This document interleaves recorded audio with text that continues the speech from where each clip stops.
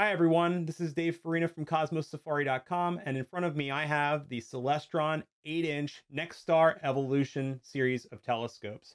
This telescope is one of my favorite picks for visual astronomers that are at the intermediate level in 2023 during our holiday season.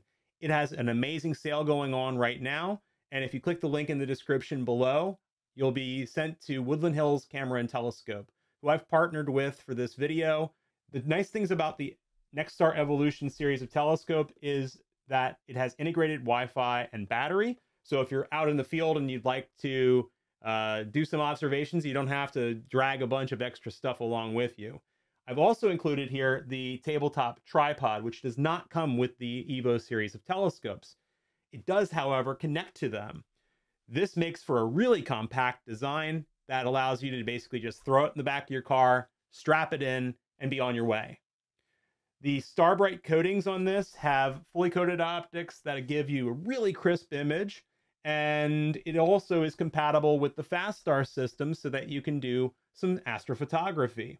So if you're doing short exposures or if you can deal with a little bit of what's called field rotation, this will take some very nice images for you for astrophotography. As far as finding objects, you've got the NexStar Plus hand controller, which allows you after a three star alignment to find pretty much anything in the night sky of interest. So this is a great telescope. Um, if you're interested and have any questions, please leave them in the comments below, and I'll be sure to get back to you. And I hope for clear skies in 2024.